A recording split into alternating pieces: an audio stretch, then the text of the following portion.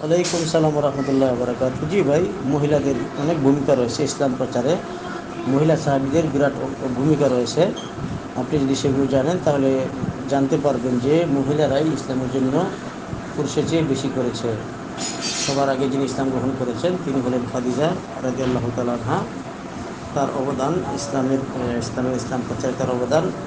নবতের শিক্ষা প্রচারে তার অবদান অনস্বীকার্য কেমন পর্যন্ত মুসলিম জাতি তার কাছে ঋণী থাকবে? খাদিজা রাজিয়াল্লাহ তালান্না ইসলামের দুর্দিনে সাহায্য করেছেন। প্রিয় নবীকে গবেষণা করলে দেখা যায় যে খাদিজার সাহায্য সহযোগিতা যদি না থাকতো, তাহলে হয়তো ইসলাম জয়লাভ করতো না।